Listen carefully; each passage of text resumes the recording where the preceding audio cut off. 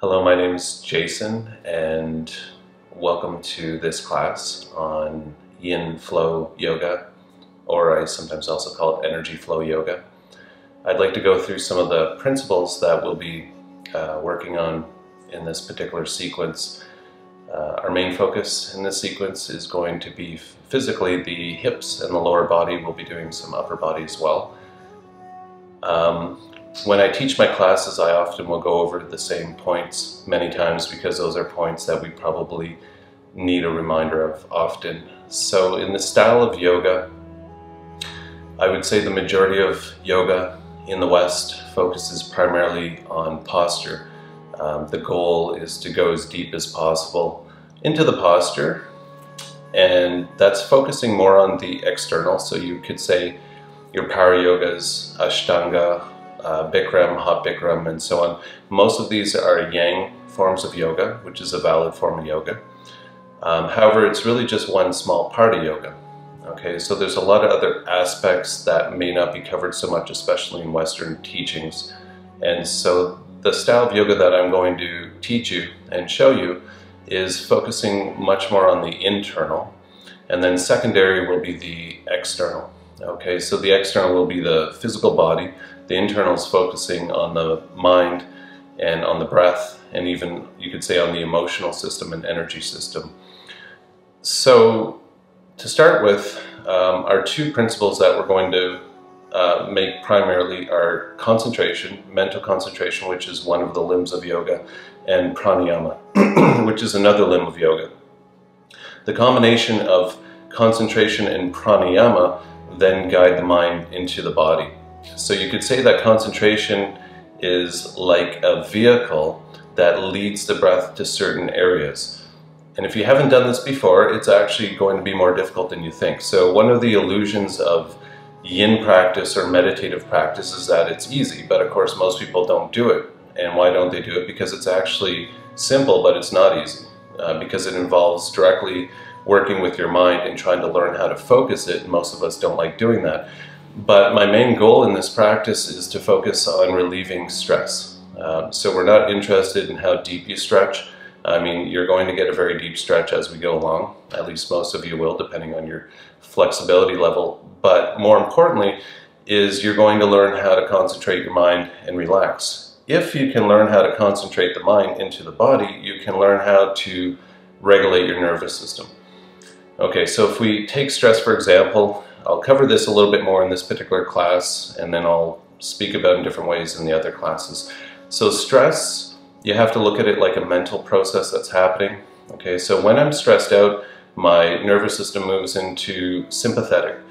You have two nervous systems, parasympathetic and sympathetic. And again, I won't go into a lot of details on these, you can look that up yourself. But when I go into sympathetic, that's the fight or flight system. And in our society today, I think it's fair to say that probably, in my opinion, because I teach a lot of classes every week, I also am a body therapist. In my opinion, I would guess that at least 75 or 80% of people are chronically stressed out.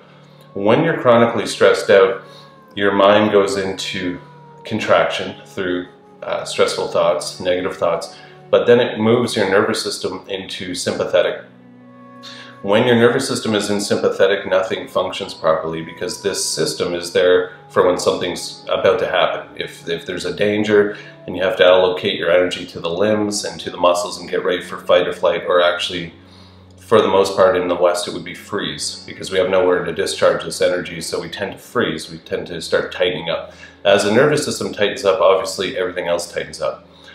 And this is happening from the mind. So you have to address the root cause of the stress and not the symptoms because normally what we're doing is just chasing symptoms in the Western model but not actually getting to the cause. Um, the cause itself is a problem to work with because it takes a lot of practice. Uh, we're talking about trying to take your mind, your mental concentration and bring it into the body and try to feel your body. Okay, and you'll see that the mind constantly disassociates, constantly goes into chronic thinking. Uh, you know this if you've ever, you know, lied in bed at night and actually had your mind harass you over and over. And then you begin to understand that this mechanism is rolling all the time. Okay, so that's what we're going to focus on, and to do that, We need mental concentration and we need pranayama, which is taking the breath and learning how to control your breathing process. Your breath is the link between the mind and body. It's uh, essentially influences every system of your body, both physiological, emotional, mental, and energetic, if you're talking about the meridians and so on, um, or nadis, as they call it in yoga. Uh, so from there, uh, let's just come along. A lot of you watching this may have been to some of my practices before, and for some of you this is going to be brand new. Um, and it's all done just through repetition practice. If you're learning how to meditate, you can't expect a result right away. It's, it, it doesn't work that way. You have to actually work at it. Uh, most people will expect that they should be able to just relax at will. You know, you have a long, stressful day, you get home, you just want to relax. Well, obviously you can't turn the mechanism on and off quite that easily without having already uh, learned how to do some of these principles. So from there, we're going to start lying down in Shavasana posture. So that's lying down on your back. We'll have the palms up. So to come down, you just have your feet. You could have your heels over at the corner of the mat. I'm going to lie down with the palms up, shoulder blades slightly together. And then as we go along through each uh, sequence, flow, or hold, I'll give you detailed explanations. That's how I teach. I want you to understand why you're doing what you're doing and not just do it. There's no sense of saying just breathe. You have to know where you're breathing to, how you're breathing, and so on. So lying down, the first thing we'll do is a body scan. In yin practice like this, everything is done slower. That means the holds and the flows that we're going to do are at least one minute up to a couple minutes. And that will be explained a bit more after. So everything affects everything else. If you hop into practice really quickly, uh, basically just to try to get into it, get into the stretch or get it over with, you're going to lose a great benefit. So we have to start gently, taking the time, noticing what's going on in your body, and then take a note of what you feel. Okay, so maybe you have tension in different areas, maybe you have anxiousness, uh, maybe you feel flow in your body, maybe today you feel pretty good, who knows. But all you're doing is taking in information so that at the end of the practice you can compare notes and see what has changed inside your body mind and emotional system. So periodically through this practice, I won't be talking. I'll be giving you time to sink in, but I will be giving you reminders.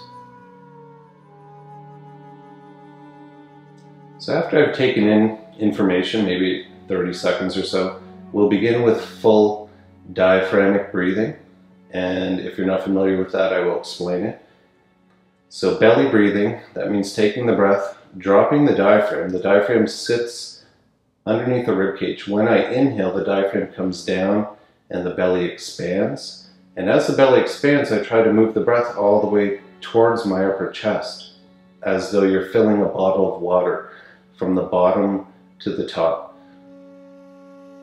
If you already know some of the things that I'm going to be explaining, you can just go into it but for a lot of people this needs to be brought in a little bit more precisely as to what's happening. There's a real misconception on deep breathing. So a few things, often people will just stick their stomach out. So they'll inhale and they'll just stick the belly out, but they're not actually dropping the diaphragmic muscles. So right here when I inhale, the sheet of the diaphragm comes down and the belly expands open. That opens up the bottom of my lungs when the diaphragm moves out of the way. Then I move the breath all the way up towards the upper chest. So it would look kind of like this.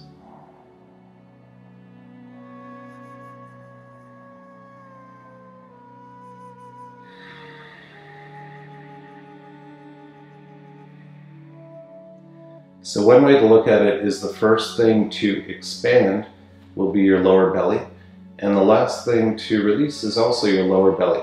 If all you did for the next hour or forever, however long this practice is, is just breathe, you will feel completely different by the end of it. Okay, because as I said, we're working, our main concern is getting the nervous system to relax, really. You know, okay, if you're more physically flexible, great, but what we're working on is to become more mentally flexible. And the breathing itself will begin to affect the nervous system. So it affects every system of your body, every part of your body is affected when the nervous system switches over to what's called parasympathetic. This is rest, renew, and rejuvenate. And that's not going to happen if you can't get your mind to relax a little bit and concentrate. So that's the most important part of the practice. We'll do this breath for another minute. So you're breathing from the lower belly all the way to the upper chest or as far up as comfortable. So you don't want to force your breath open, but as I inhale up, if I start to meet resistance somewhere in the chest, then just go to that resistance, maybe push into a little bit and then go back down. Okay, so one misconception in modern yoga is forcing the stretch. It's so common for people to constantly push the stretch as though if I go a little bit deeper, somehow that's going to benefit me. You can't force your body to open and you can't force your breath to open. If it's helpful for you, what you can do is place one hand on the lower belly, two inches below the belly button, and one hand on the solar plexus. And then this will help keep your mind from wandering. So you inhale into the bottom hand. Okay, so we'll breathe into here. And you'll notice where the top hand is, this is where the solar plexus, uh, the diaphragm is moving down and back up.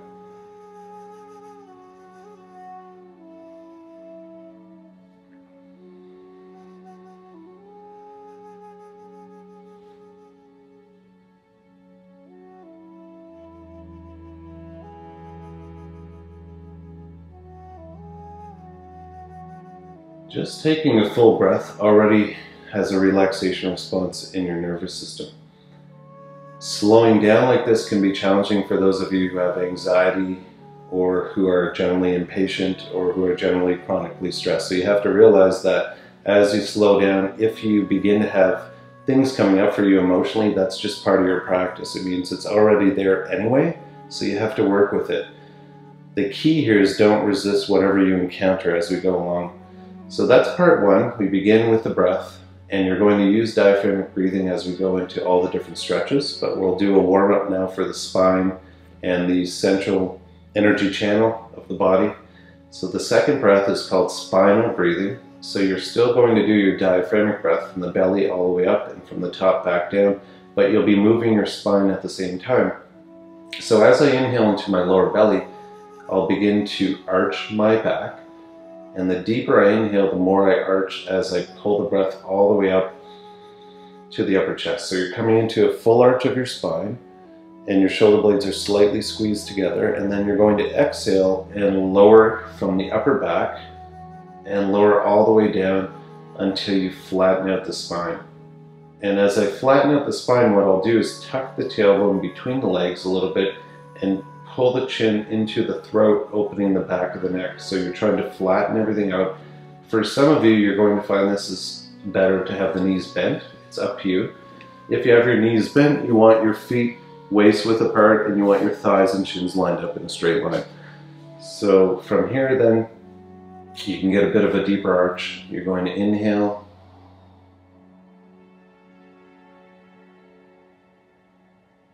as though there's a string attached to your chest or solar plexus that's lifting you up like that. And then as you exhale,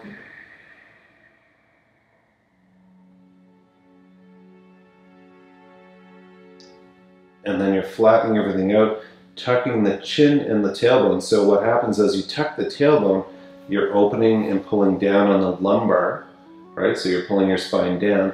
As you tuck the chin in, you're pulling the cervical up, so you're decompressing the spinal column on the exhale, and on the inhale, you're compressing the spinal column. You're also working the chest and the rib cage.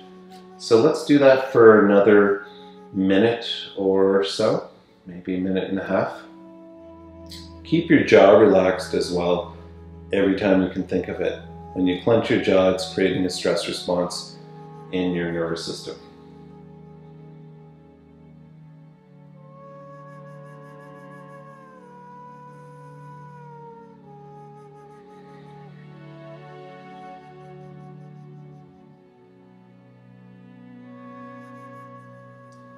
I recommend that you go at a slow, deep breath, not to the point where you feel strain in your breathing, but whatever slow, deep breath is for you, that's how fast you're moving.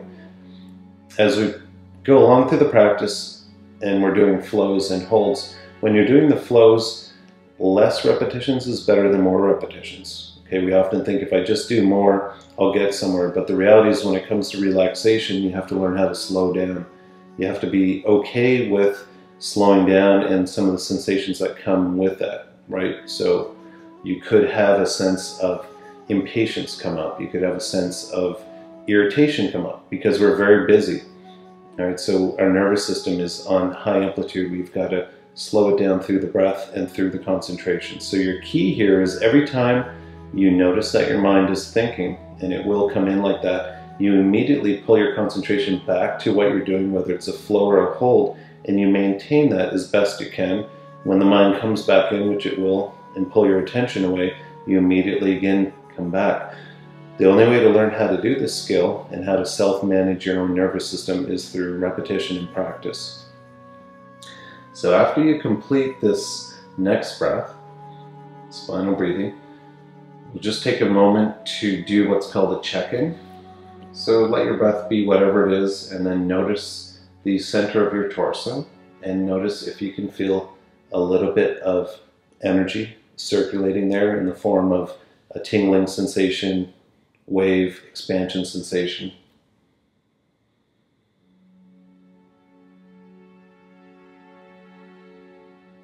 We'll do one more warm up before we start working into some of the holds. The last warm up, you're still going to work with spinal breath. Okay, and there's lots of different versions of what I'm showing, uh, showing you, slight modifications.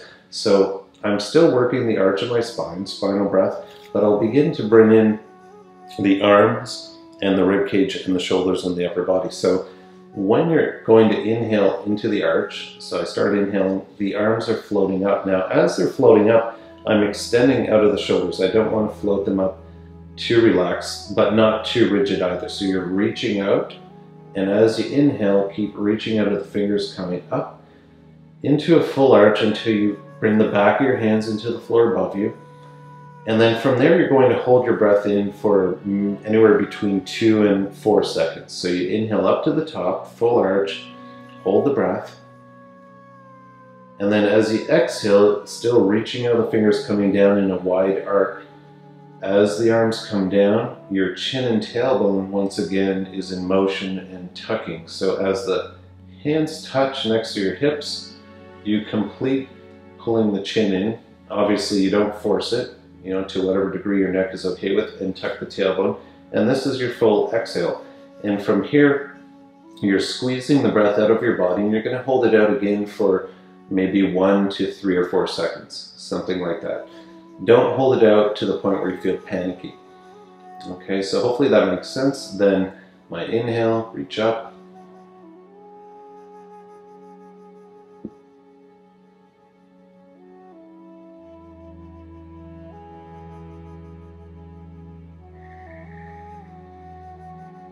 We're going to do this for a little bit. So start to focus your mind deep into your spine, into the movement, into the breath. As you're inhaling up and reaching out in that arc, you're also lifting the rib cage up and away from the abdomen and expanding it.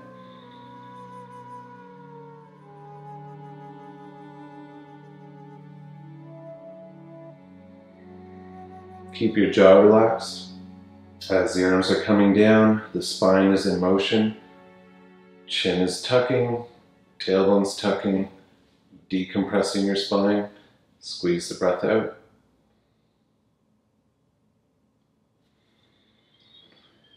As you get used to these practices, obviously you don't have to follow my pace. You can go a little bit slower, you can go a little bit faster. I'd rather you not work to the point where you start to feel like you're holding your breath too long on both the inhale and the exhale. Um, there's different forms of breath. Some breath can bring you deeper into what's called catharsis, making contact with blocked energy or emotions. But in this one, we're focusing more just on relaxing the nervous system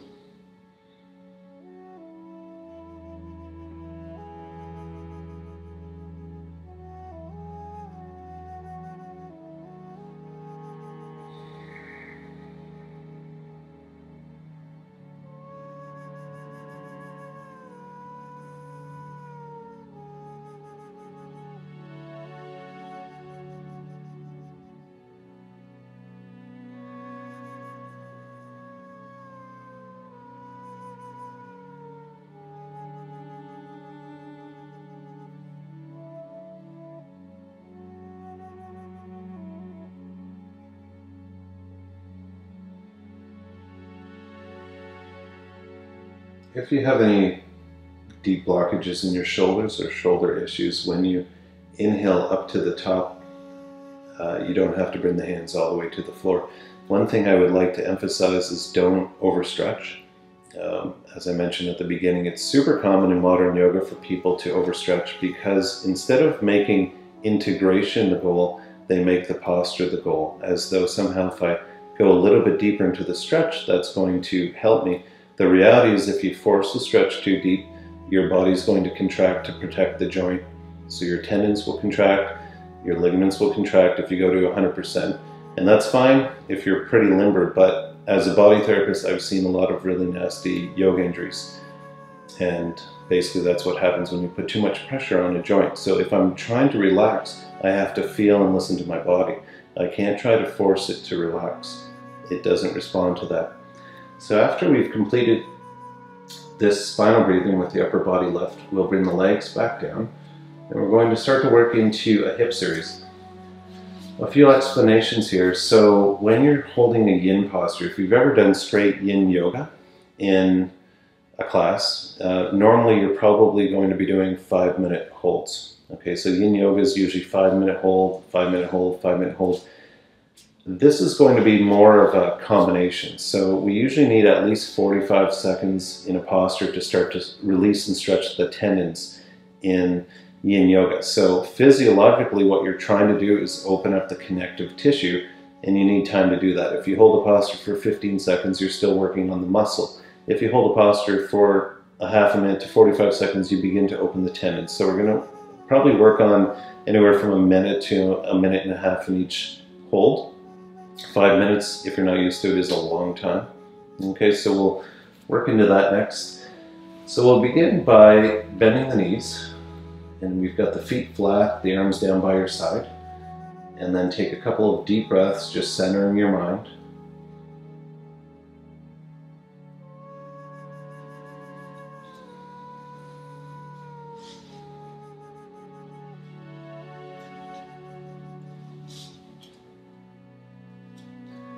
And then we're going to work into a hold for the groin. I'll give you a couple modifications as we go along. So we'll take the left knee, bring it into the chest, like this.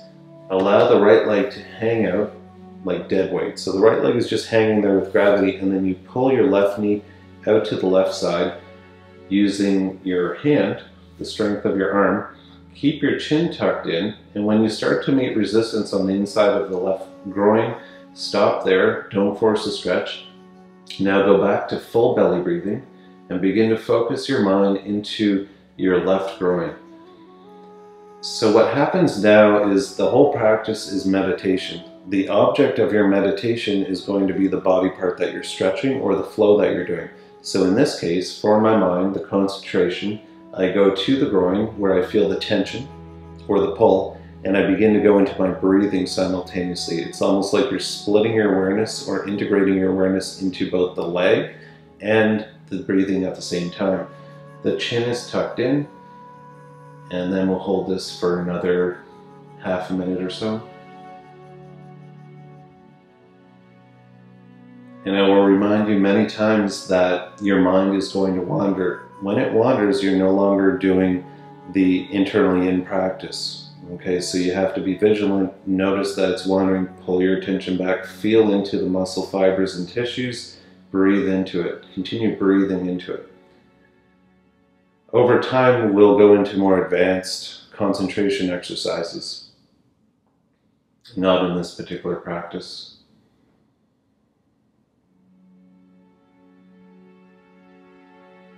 What's happening now after holding the stretch this long is the tissues are starting to open, especially into the tendons. So let's say I started here and by the end of it I opened to here.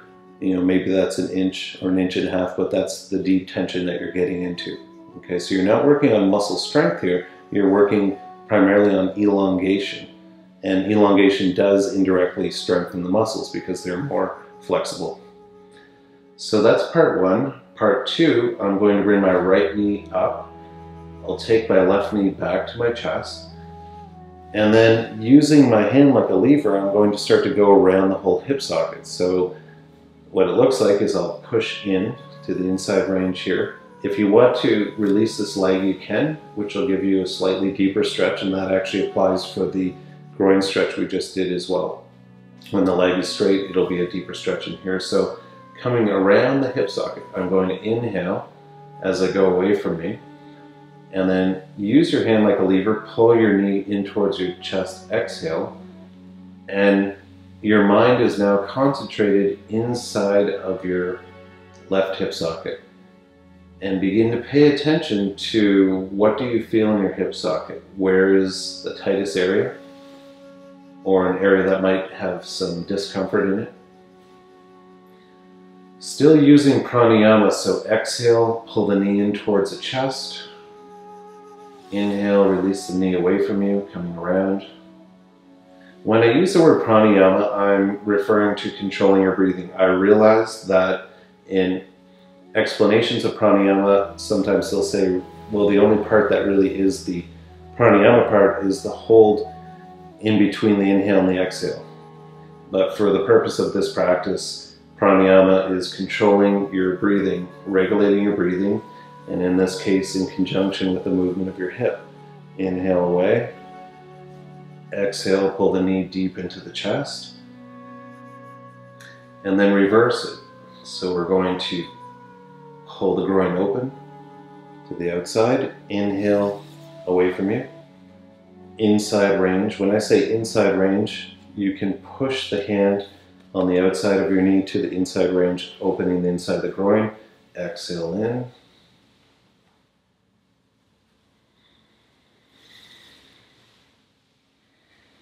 And now you'll begin to pay attention to where you're going to stop. So as you go around the loop in your left hip socket, start to identify where you feel is the tightest point or the most painful point that you found or peculiar point.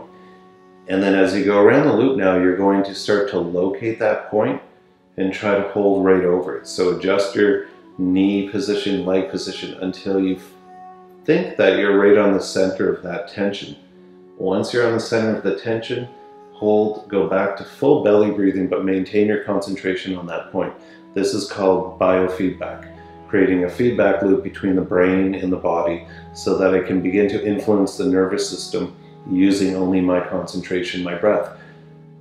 I want to remind you again that this is completely based on your ability to concentrate. The more you concentrate your mind, the more the effect is on the area that you're concentrating on.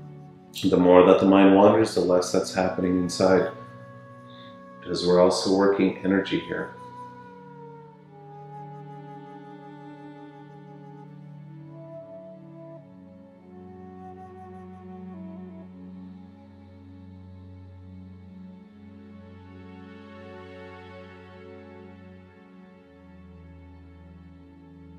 And then we'll continue into the counter stretch for the groin. I'm going to take my right hand and grab the outside of my left knee like this. I'll take my left arm 90 degrees out with the palm down. So you have the left palm down, stretched out. And then as I exhale, I pull my left knee to the right. And as soon as my left shoulder tries to come up off the mat, that's where you're at full stretch. Okay, so if I want to, I could come over like this, but you see my arm? So I'm not really getting anything extra from that. I want to isolate the shoulder and the arm like this and then I'll pull across and you'll also get this fairly deep stretch coming through the shoulder, chest, down towards the hip. Head is turned to the left. You're looking towards the left hand. You can have your eyes open or closed in this case, and then reach your left fingers out like you're reaching for something that opens the rotator cuff. And then you're back to full belly breathing, diaphragmic breathing up the side of the body, focusing from the hip up to the shoulder. Keep your jaw relaxed.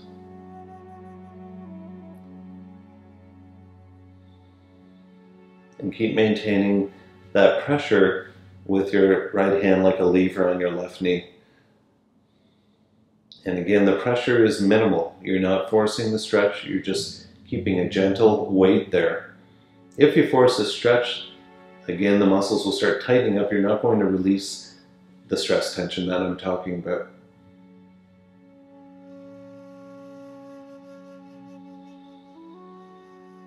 Before we come out of this, bring your left palm up to the ceiling And as you're still holding the twist, squeeze your left shoulder blade towards your spine and you'll feel a release in the front deltoid and the pec muscle.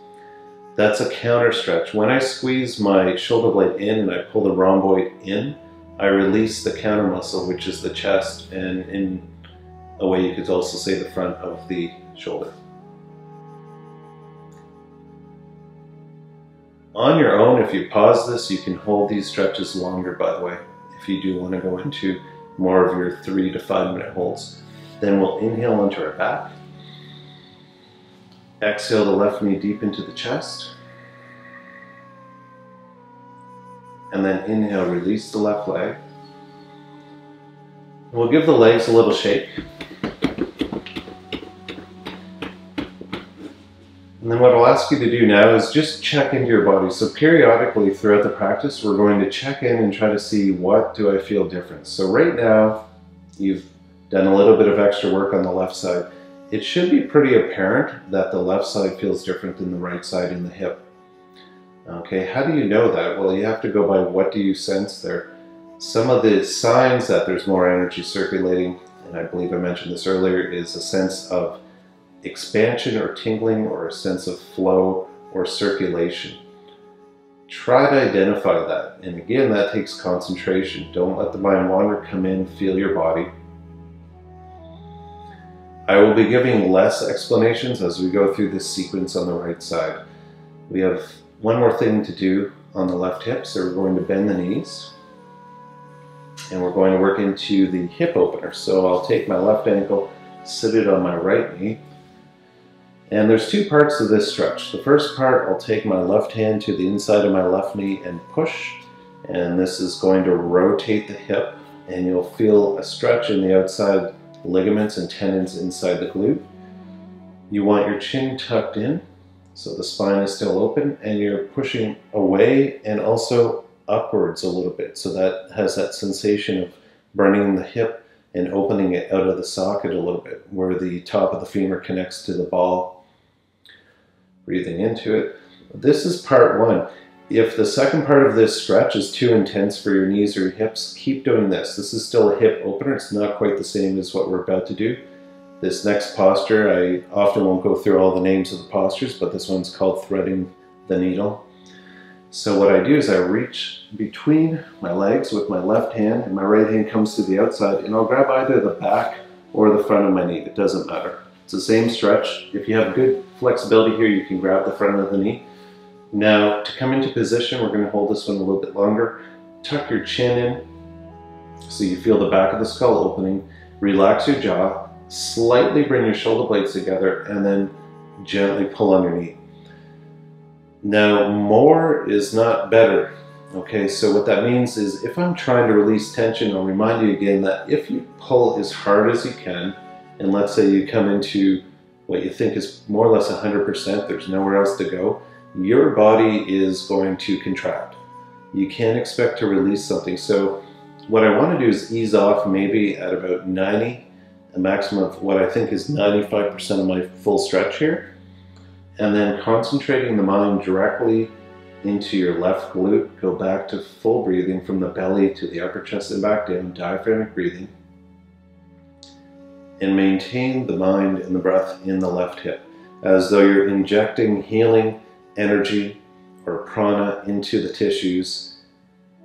And on your exhale, you can just observe the breath coming back down.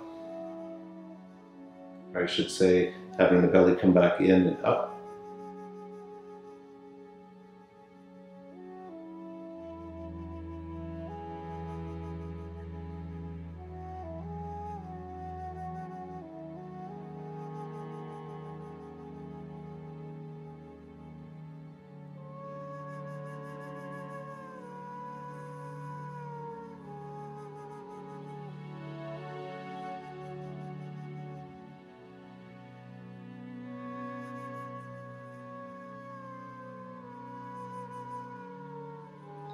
What's happening in this hold is as you start to feel a little bit of opening in your left hip, if you start sensing that, then you can apply just a tiny bit more pressure. Okay, so you're not forcing the stretch. If you feel like your body's giving you the signal to go a little bit deeper, do that. If you don't feel that, then don't do it. You know, it's not going to be beneficial forcing the hip open, trying to force the hip open. And again, if you want to hold this longer, you can pause it. Otherwise, we're going to now release the right foot. It's coming down. And then I'll place my left foot down. I'll bring the knees together and we'll do kind of like, I believe it's called windshield wiper. So you just bring your arms out. You're going to exhale, drop to one side, inhale up, exhale like this, back and forth.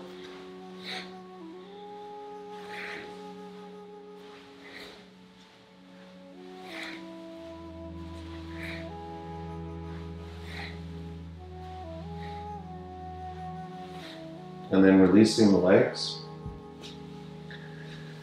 And we'll do a quick check-in again, noticing all the work that you've done so far. So obviously you'll notice the sensation in the areas that you specifically work, but you should also notice the sensation in the whole body. You've been doing controlled breathing now for quite some time in this practice.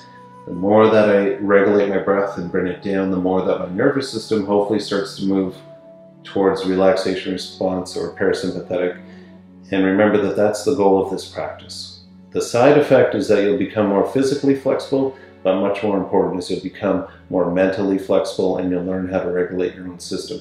So we'll go through the same stretch sequence on the other side. We'll bend the knees.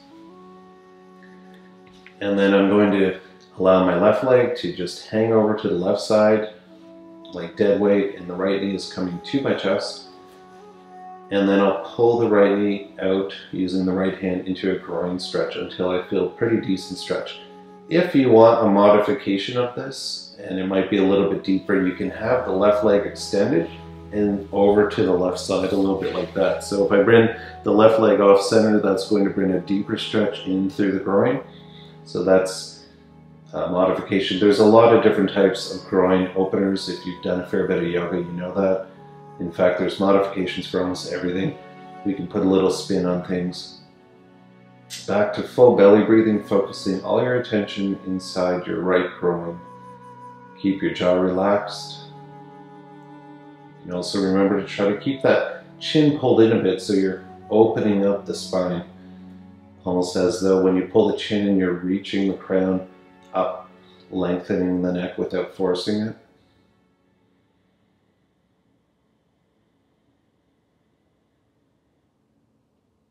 One thing you'll notice that regardless of uh, what's going on in the body or in the posture, the breath is going to change, or I should say because of the different postures. So if I'm in this position opening the groin, as I take a deep breath because some areas are stretched, I'll feel the breath differently.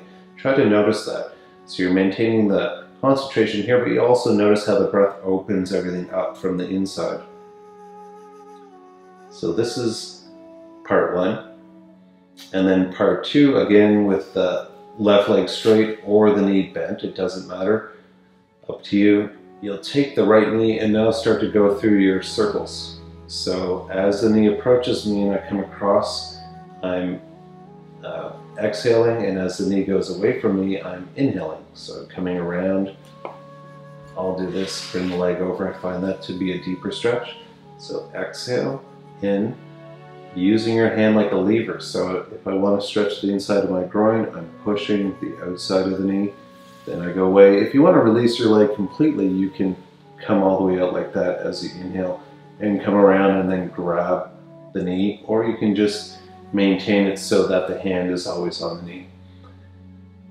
Out into a groin stretch, across the top, exhaling inside range, We'll be reversing, so just go the other way. Inhale away from you, exhale in.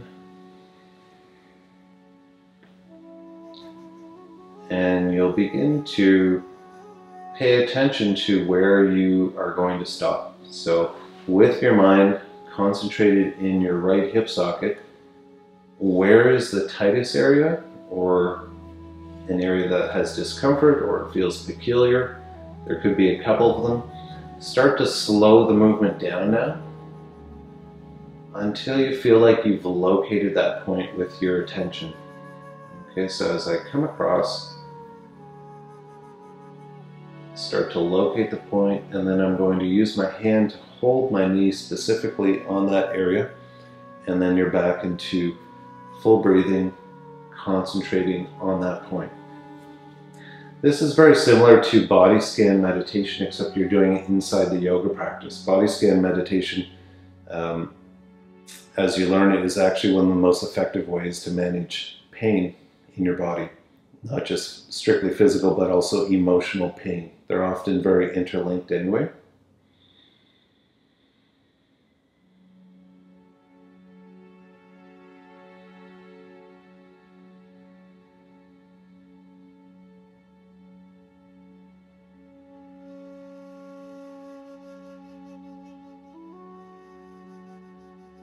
And then I'm going to continue over into the twist. Okay, so if you haven't already done so, you'll have your left leg straight out, if your knee's bent, and then grab the outside of your right knee with your left hand, bring your right arm out 90 degrees, palm down to the side of the body, fingers stretched out, and then exhale, pull yourself to the left until you feel the right shoulder try to come up, and then you're at full stretch. So you're pulling yourself across, your head turns to the right, and then you're reaching out of your right fingers. You should feel that reaching opens your rotator cuff a little bit deeper. And then with your mind and your breath, go from your right hip up the side of your body to your right shoulder as you inhale. As you exhale, you can follow your mind back down. At first, the coordination of the breath uh, can be quite challenging for a lot of people. And I'll remind you again to not overstretch. If you start to encounter what feels peculiar to you, too much tension, you just release. Okay, it's always better to do a little bit less than a little bit more. As I mentioned earlier, it's extremely common for people to overstretch, and it's also common for a lot of instructors who made it to a high level of yoga to then have a lot of physical problems because the ligaments are now overstretched in the joints, and you can't really shorten them again.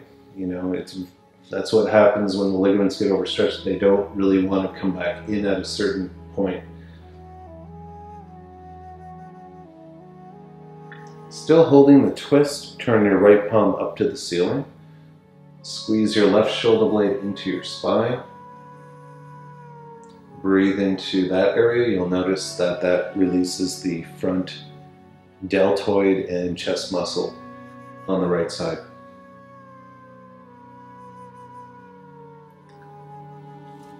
And then we'll inhale back to center.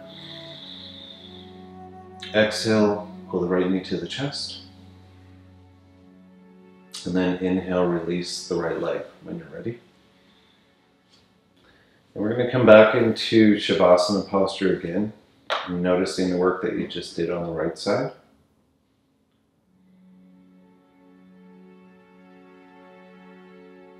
Try to take a couple of deep breaths and also notice if your nervous system is starting to decompress a little bit, starting to go down. When I say going down, one way to look at it is when we're stressed out mentally, we're uptight. All the energy is going up and it's being pulled up into the mind and, or I should say into the brain because the mind actually is not just found in the brain but the whole body. But everything starts to contract here, so we're pulling up. What I need to do is ground myself and try to relax and get my energy down to the belly and then down the legs and into the feet. So I have to integrate that energy that's locked here and sink it down. And let's do the last part for the right hip. We'll bend the knees and we'll take the right ankle and sit it on your left knee. Take your right hand to the inside of your right leg and push rotating the hips so you're pushing away and kind of upwards. Breathe into the outside of your right hip socket. And remember, you can do the entire hold doing this if the second part of the stretch is going to be a little bit too intense on your hip.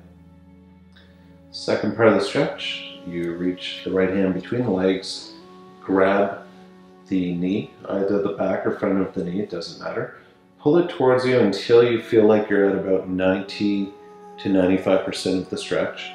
Tuck your chin in down towards the throat. Bring the shoulder blades slightly together. Relax the jaw. Now I could say a lot of those things in a lot of the stretches, especially the, the jaw. You know, this takes a lot of practice to remember that, but try to keep it unhinged and then go back to full breathing with your mind concentrated inside of your right hip. And we'll be holding this for a little bit.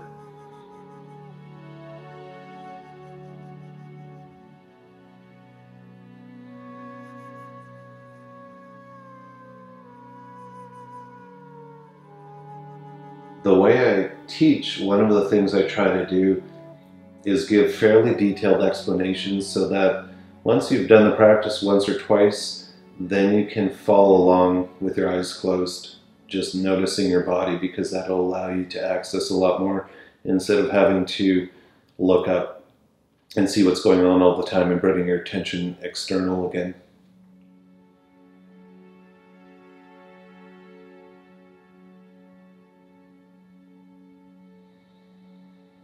Now remember, as you're holding, if you notice your right hip starts to feel like it's letting go a bit, just apply a tiny bit more pressure. So you wouldn't necessarily apply an inch more pressure, maybe a centimeter, so that you're now breathing and working into the next layer of tension.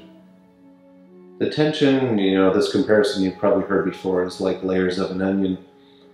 You don't want to try to force yourself down to the fourth layer of the onion if you haven't released the tension in the top three, for instance. So you have to go layer by layer it's essential to develop an enormous patience when starting to work with the internal practices. And that is a problem because we're generally very impatient because of our busy lifestyle and overstimulation. So we'll release the leg if you haven't already done that. Coming down and then let's do the side to side. We'll bring the arms out and you'll exhale, drop to one side, inhale, exhale. You can go a little bit slower than this if you like. I kind of like doing it a little quicker so I get that rebound effect.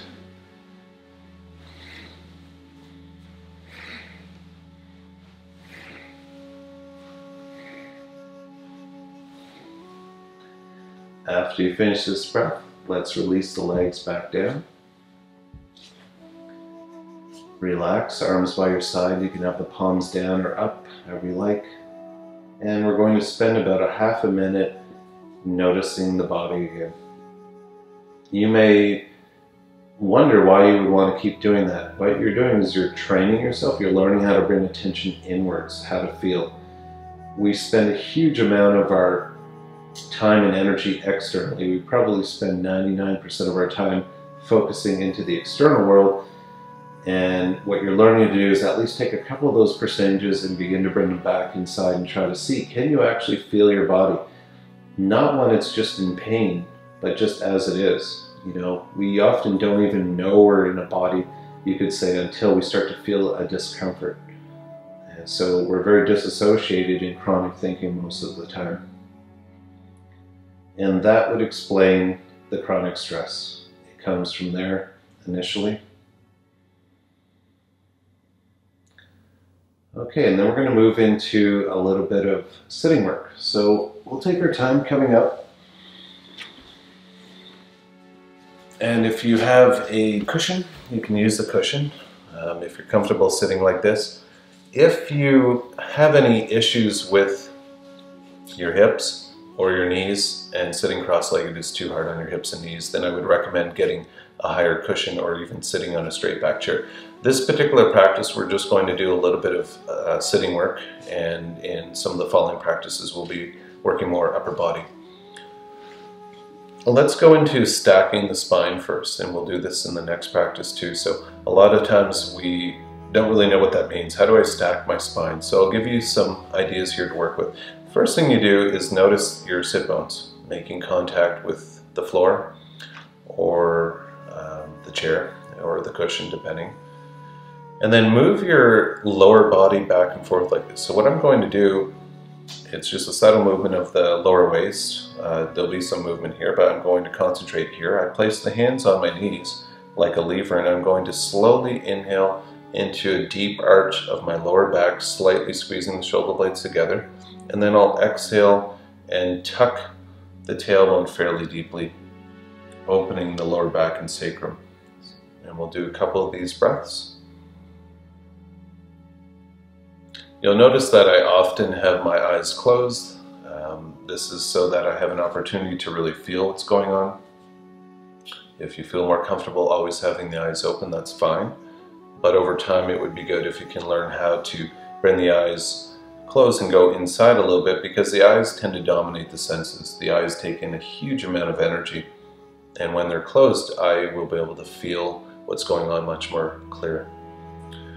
Okay, so the next time you come through now, try to find the center of uh, the sacrum in the lower body. When I say the center, you're going to take most of the arch out of your lower back. So if I have a deep slouch, there's no way I can stack my spine because everything goes off. If I am slouched this way, same thing. So try to find the position of the lower back where it feels solid and almost feels like the stabilizers are engaging here.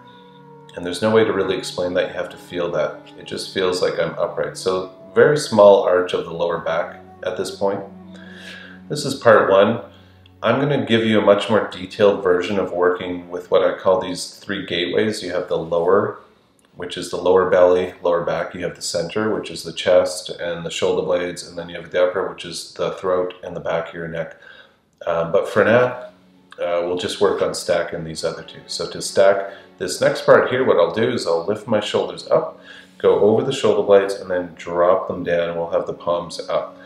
And that helps open up the energy circulation here too. So when I close the palms, I close this area, when I put the palms up, it's like I'm rotating that open. So let's say you do have a lot of tension here. This will help you release that tension down towards the hands.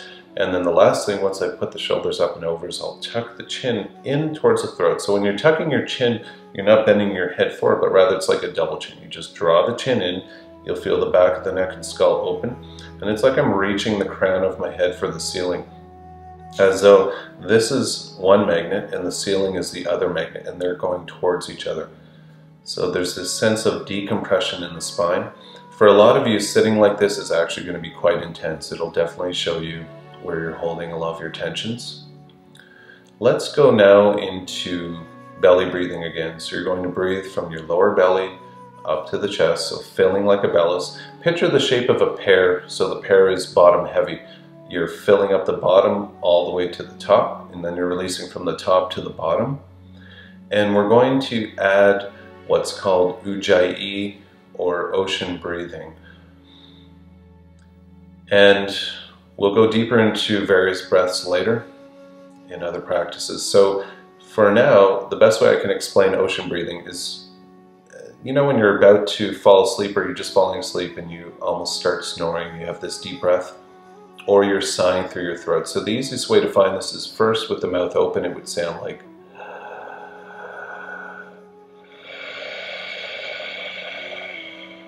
Now you want to emulate that with the mouth closed because in most yogic breath you're breathing through the nose so that that will regulate the nervous system deeper. So with the nose closed it would sound like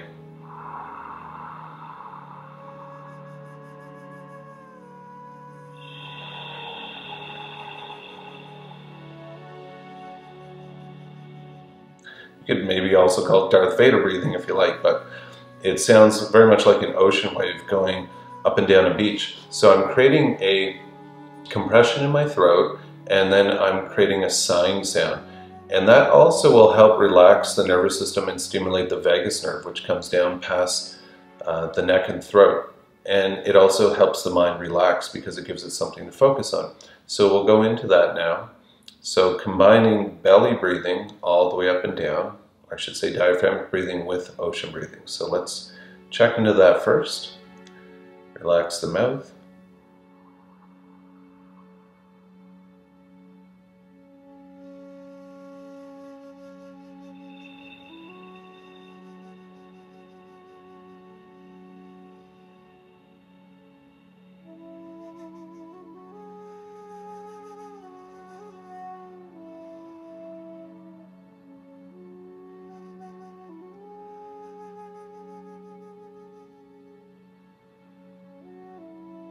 Noticing where your mind is. Notice if your concentration uh, wanders. It's going to, especially when I stop moving, that's when the mind is going to uh, probably wander even more. When I'm moving my body, it's a little bit easier because there's something to focus on.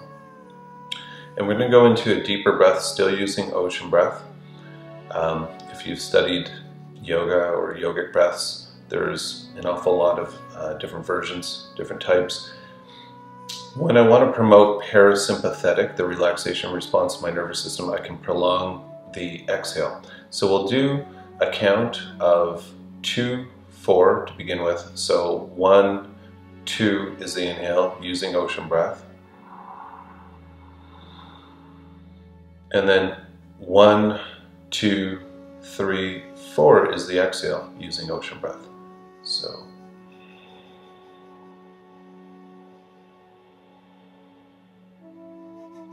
Again, inhaling.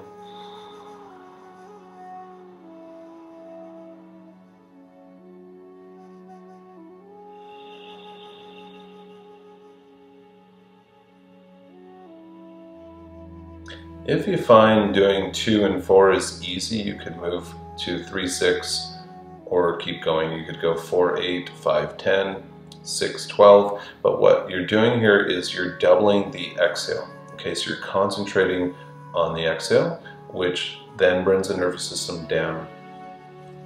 Okay, there's different forms of breath. Some breaths in yoga are energizing, using uh, breath of fire and so on. Let's do this for another minute. Again, you could pause this if you want to do it for up to five minutes or longer.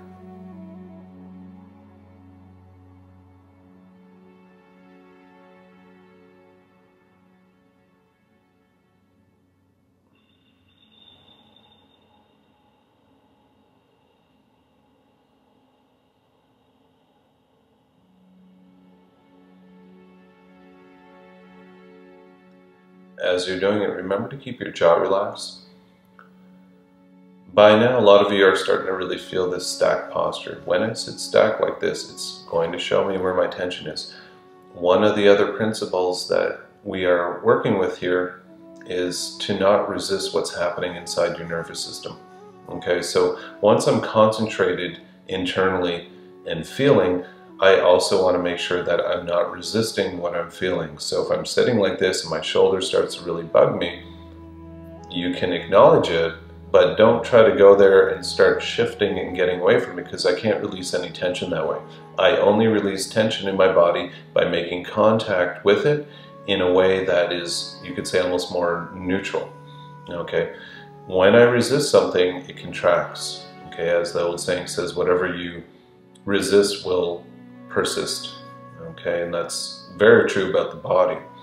So your two principles of working with this are concentration, non-resistance, or concentration, surrender, whatever word you want to use. There's many words for this. Okay, so we'll go into a little bit uh, more stretch or movement. Let's first come out if you'd like to and shake out the legs. Just give the legs a good shake. We're going to wind up the practice. As I said, this isn't a whole lot of upper body stuff. We'll do that next. Rolling the ankles around and then go the other way, rolling around.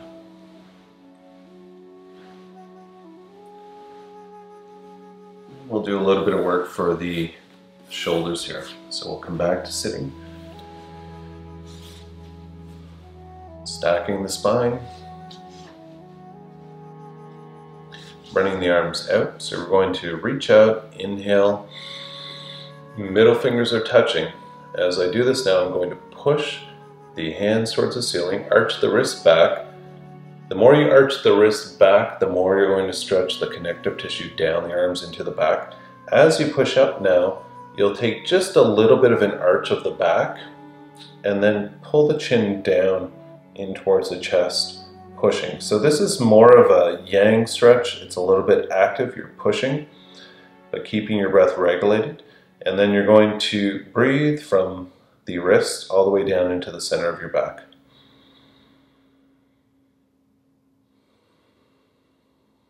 The key here is, of course, maintain that deep breathing. If you start to hold your breath because there's tension, that's once again back into resistance.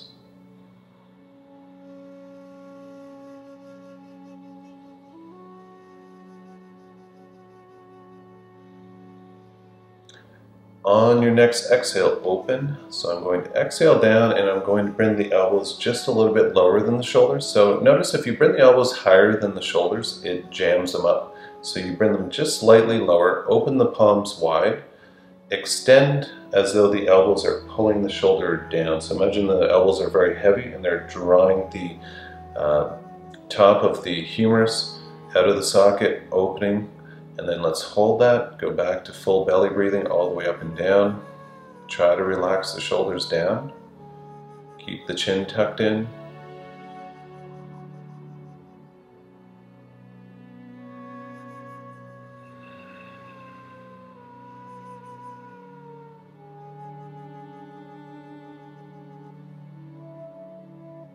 As I said earlier, if this gets too intense or any posture gets too intense, just come out of it. But there is a fine line that you're working with.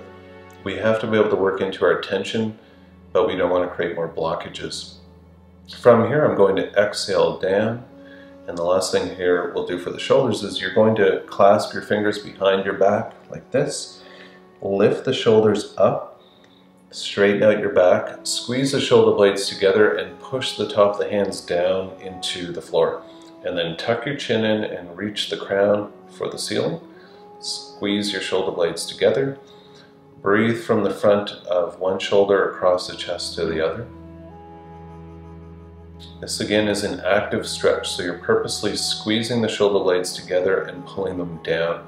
That should give you a fairly deep release right across the connective tissue of the upper chest and shoulders.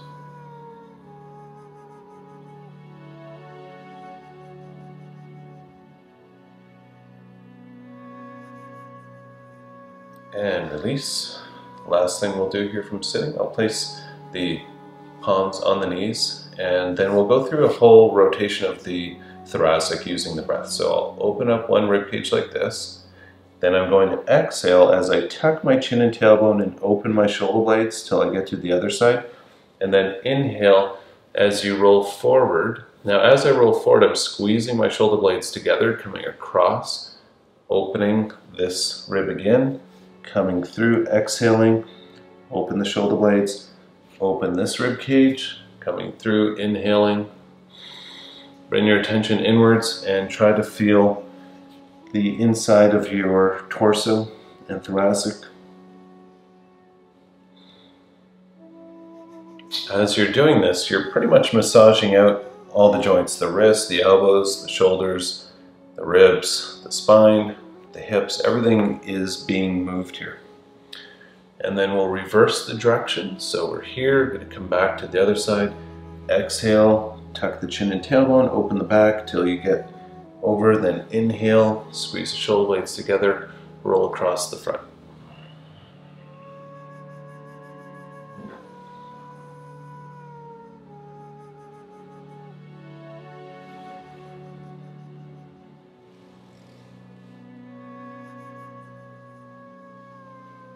Do one more breath. After you come through this time, stack the shoulders one last time before we go into Shavasana, and then we're going to do a couple of really deep release breaths. So I'll inhale through the nose, exhale out the mouth, releasing like this.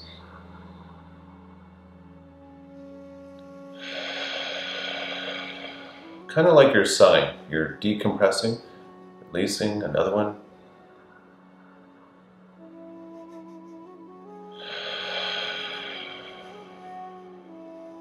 Letting everything go. Good.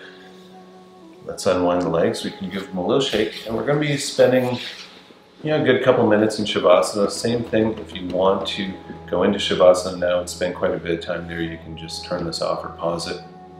That's up to you. Uh, a nice way I like to come into Shavasana is uh, this way here. I'm going to bring my heels up to the corners of the mat like this, and I'll be upright. And then using my breath again to come down. So I'll take a deep inhale, and when I exhale, palms up, releasing myself down one vertebrae at a time. So I'm exhaling, rolling into the mat, tucking the chin, and then letting the body go completely. You just did a lot of deep stretching, and more importantly, you did a lot of deep breathing for this whole practice. Now take a moment and scan your body and simply notice what do you feel. And what do you feel that might be different from the beginning? So some of the signs that the nervous system is relaxing is a sense of expansion in the body. You might feel waves or circulation going up various parts of the body. You might feel heat. You might feel like you're really sunk into the floor. If you feel these sensations, then your body, your mind, nervous system is moving more towards parasympathetic releasing, which is expansion. So the more I relax, the more I expand. And on the opposite side, the more I mentally stress, the more I contract. So it's important to notice this so you can begin to notice what's happening inside your body, not just in practice, but on a day-to-day basis, which is actually the real practice. As they say, life is the practice. When you're doing this on the mat, you're just warming up for life.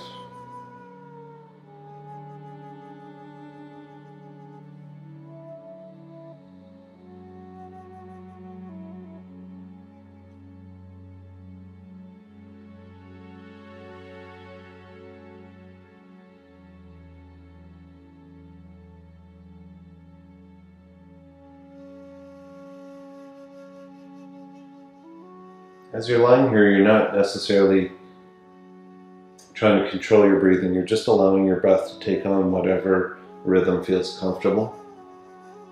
But you are keeping your attention on your body. So you want to do your best not to let the mind just wander here when you're in Shavasana. Shavasana is integration. You know, I look at it kind of like resetting your nervous system. Like your computer freezes up what do you do? You reset it and then it works again. Stress basically uh, freezes up the nervous system inside of you. And the deep breathing practice and the deep stretching practice will help reset that nervous system. So we'll take our time coming up, and as I said, if you want to lie longer, um, you can just turn this off or pause. Otherwise, we'll come up to close the practice. So coming up in either fetal posture or however you like, Fetal posture is always a nice way to come up. You can just roll over to one side, relax.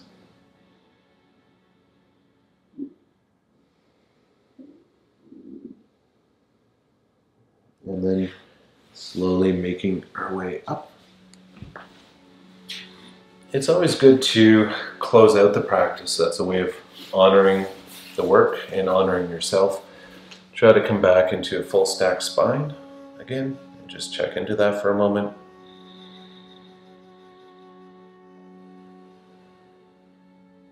And then bringing the arms out to the side, we're going to inhale up, palms together, reaching up. And exhale, prayer posture coming down in front of the heart center. Relax your elbows so your shoulders are open. This is a good time for intention or prayer or whatever feels comfortable for you. And then we'll take a bow, closing out.